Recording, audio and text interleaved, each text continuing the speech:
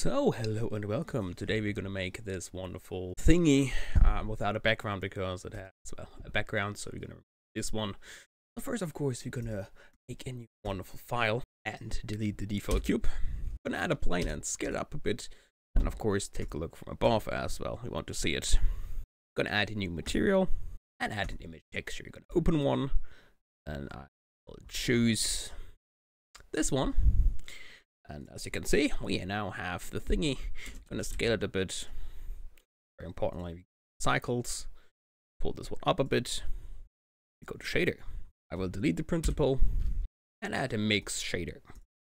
I'll plug this one into the surface. An emission shader. Plug this one shader. Also around a bit. And we're going to add a transparent BSDF, which we're also going to plug in here.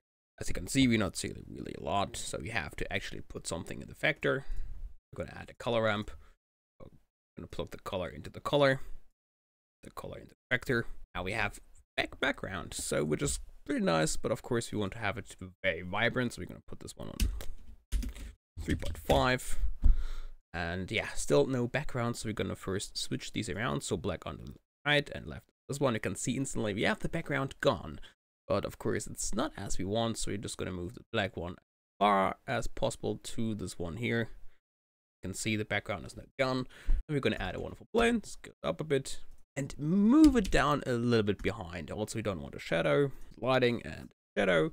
And now we have no longer a background. I hope you like it.